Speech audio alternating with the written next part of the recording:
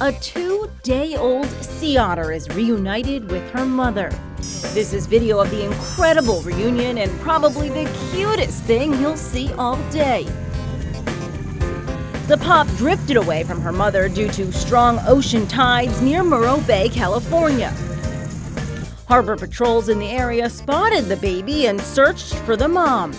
They knew it was her because she instantly responded to the pup. As the boat got closer, the otter was gently tossed into the water.